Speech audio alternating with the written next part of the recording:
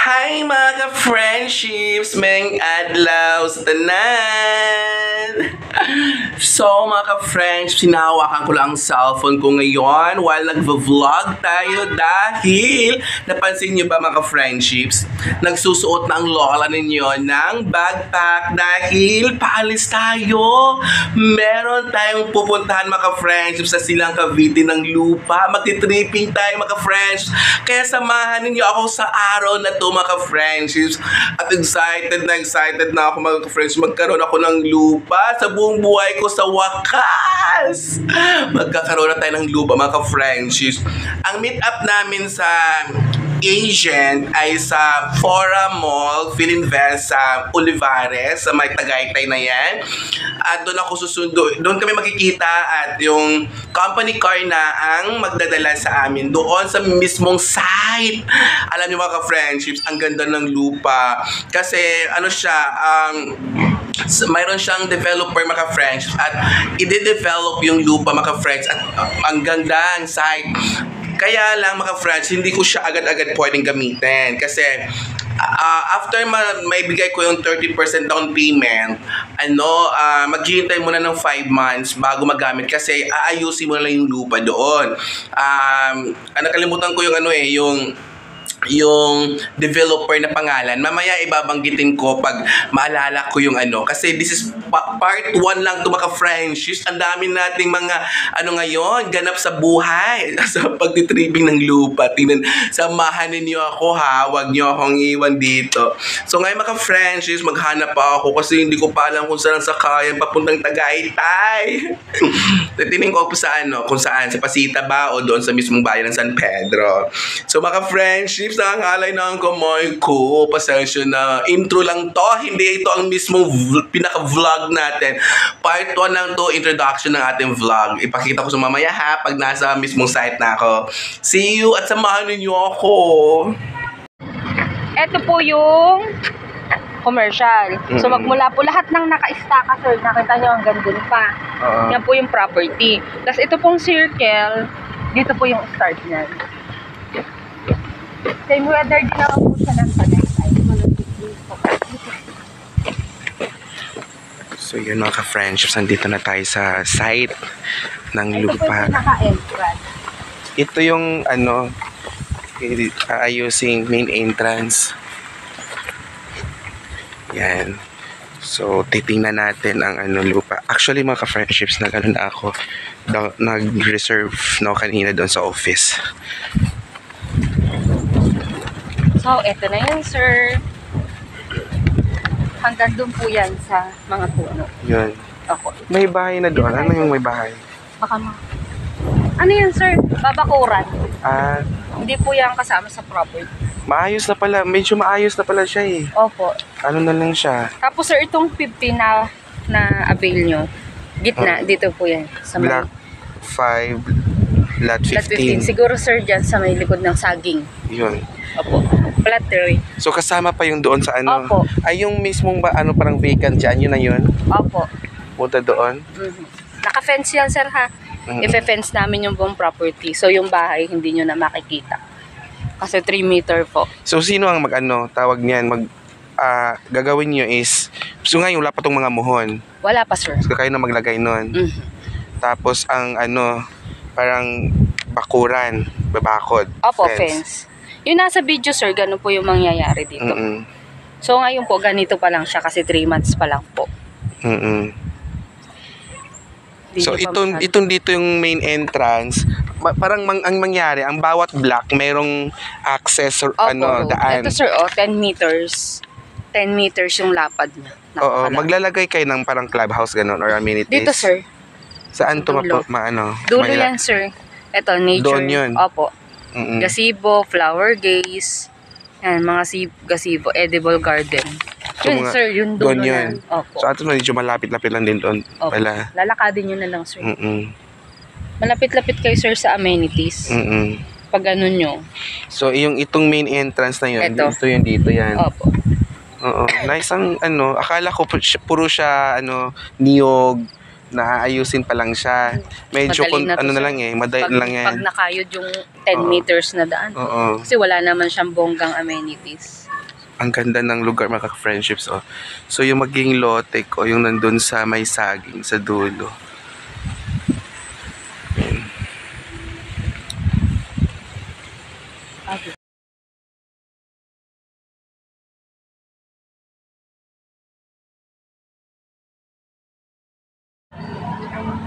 Hi mga ka-friendships! So ano na? Nagustuhan niyo ba ang video? Napanood niyo ba ng buo? Hindi ba kayo nag-skip? O mga ka-friends, ang mga pictures, diba? Nice na nice ang lugar, ang lupa binili ko mga ka-friendships! Pero bago ko i-check ang lahat na yan, alam niyo, pagod batch ako. Kakarating ko lang talaga ngayon dito sa bahay. Nakapaglagay na ng lipstick para kailangan, para uh, maganda kundi tayo. Kasi dry na dry yung lips natin sa intro natin ng video na to at kanina din sa pagpa-show ko sa inyo sa lupa doon. Ako, pasensyahan nyo na, gano'n talaga ako kapangit. Kaya huwag kayong mag-expect sa akin kung tayo ay mag-meet sa person, no? Mga ka-friendships. Sobrang tuwa ako dahil sa wakas, sa buong buhay ko, nakabili na ako ng sarili kong lupa. Pero talaga, sa totoo niya, may nabili akong lupa dati. Pero, nako, nako, nako, ayoko na ikwento yon. May nabili akong maliit na lupa dati, pero may kwento yon. Ayoko na balikan pang mga nakaraan. So, dito na tayo sa, present. May nabili akong property sa isang developer. Yes, tama po na rin yung mga friendships. Binili ko ang lupa na may developer. Bakit mas gusto ko yon? Kasi mga friends, less hassle kapag may developer, may company. So, mga friends, ang project na yan ay Savannah um, Mountain uh, Mountain View um, Residences. Yun ang name ng project. Pero yung mga friendships, yung developer ay Fig Tree Properties, ang main office nila ay nasa Tagaytay. So kanina mga friends, ang ginawa ko, naku, nakakapagod talaga. Nag-arkila ako ng angkas at ito pa, bonus point. Ang gwapo ng angkas! Kaya sulit yan binayad ko sa buong araw na yun. Inarkala ko na siya kasi para hindi na ako palipat-lipat ng sakaya, sasakyan. Kaya mga friends, mula San Pedro hanggang Tagaytay nag-angkas. Tapos, tapos yung, ang, yung motor, iniwan namin doon sa office at pumunta kami sa sa site, nag-viewing kami, nag-tripping para makita yung lugar. Pero bago ako pumunta doon mga friends, nag-reserve na ako, nagbayad na ako ng reservation plus 10k. Pero reservation talaga mga friends ay 10,000 lang. Dinag- dinagdagan ko lang ng 10,000 para para mabawas-bawasan yung down payment. So, bakit hindi ko binayaran ng buo agad? Kasi mga friends, ganito yan um, ay mamaya na. Kwento ko muna yung, yung papunta namin doon. Ini, pagbayad ko, pagkatapos ko nagbayad na reservation, ang picture-picture, mga chow-chow doon, kaming mga, ano, yung agent, at saka yung, yung sales manager, ganon, yung cashier, ganon. So, um, may complete papers na nabigay sa akin, pumunta kami na, sa mismong location or site ng lupa. So, magdating naman doon mga friends, na ang ganda, ang daming madadaan ng mga super nice na mga lugar.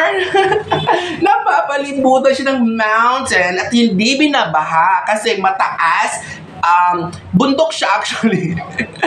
Pero, bakit ko mas bet magusto ko yon Dahil mga friendships, after 5 years, nako, tataas ang halaga ng lupa, mga friends.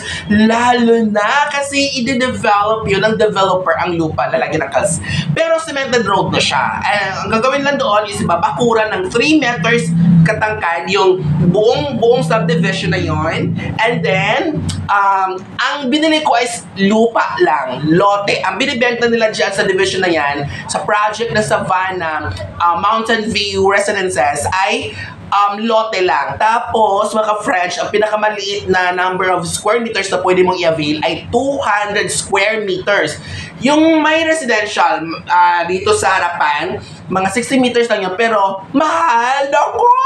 Ang uh, 6,000 square meters. Mura pa yan, actually, mga French, kasi hindi pa na-develop. Pero kapag na-develop na yan, tatay ng mga, mga, ano yan, mga mga source yan, nako, pag ibenta yon ako, milliones na yon Pero ako makapusa, ang ganda ng pinili kong lote kasi nandoon sa, hindi ganun kadulo, pero malapit ako sa mga amenities.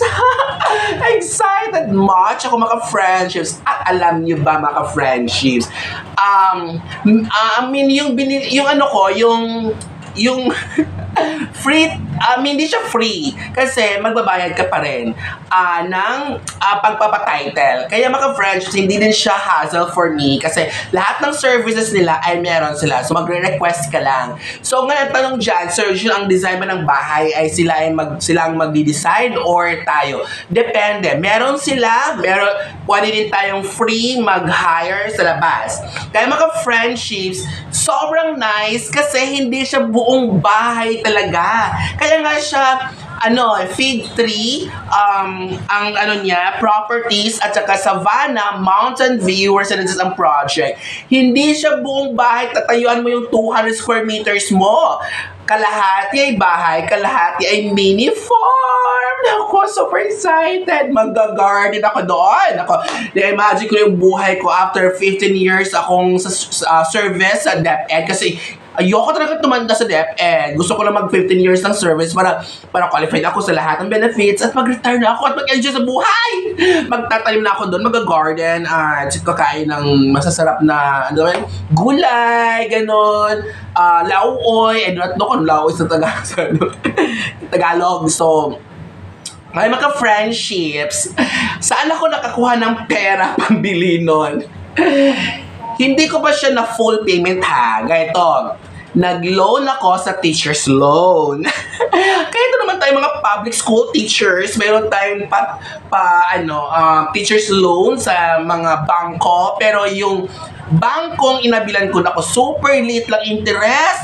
At one day process lang. Yun yung maganda doon, isang, hindi nga actually umabot ng one day eh, kasi yung yung ano yung tao ng bangko na yan pumunta sa mismong school. At sila na nag-ayos sa paper doon binigay ko lang lahat. Tapos sila nagdala nag-submit doon sa bangko. And then yung pinapunta lang ako para for releasing ng pera medyo madami-daming mga pipilapan pero okay lang yung mga ka-friendships kailangan natin ng pera di ba? So yon mga 20 hours lang release agad ang pera mga ka-friendships. Pasok agad sa ATM Nako, kaya nga mga friends, ginawa ko, hindi ko lang binayaran ang 30% yung down payment noon kasi, kailang uh, magmi-meet up pa kami ulit sa next week. Kasi uh, may ayusin silang paper para para ipanotaryo. So, ngayon, i-send nila sa akin yon sa email para i-double check ko yung draft. And then after nun, uh, mag mag-print ng hard copy at sa pag-meet up namin ulit, babayaran ko na yung down payment na 30% plus plus mga ano, plus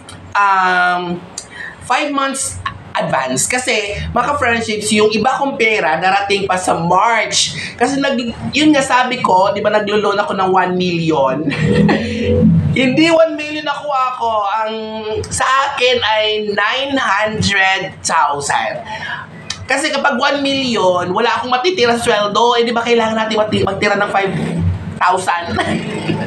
Kaya 900,000 na loan ko. And then, yung, ngayon, ang niloan ko is 500,000 yung matira na 400 sa March yon kasi bakit?